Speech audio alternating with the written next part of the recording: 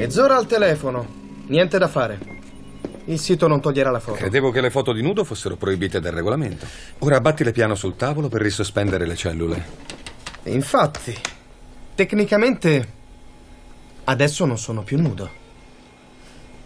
Forse dovresti chiudere il tuo account. Chi l'ha fatto ha cambiato la mia password e non posso provare che sia la mia pagina. Mm, è un indizio. È esperta in tecnologia. La mia password era password. Prostituto e scemo?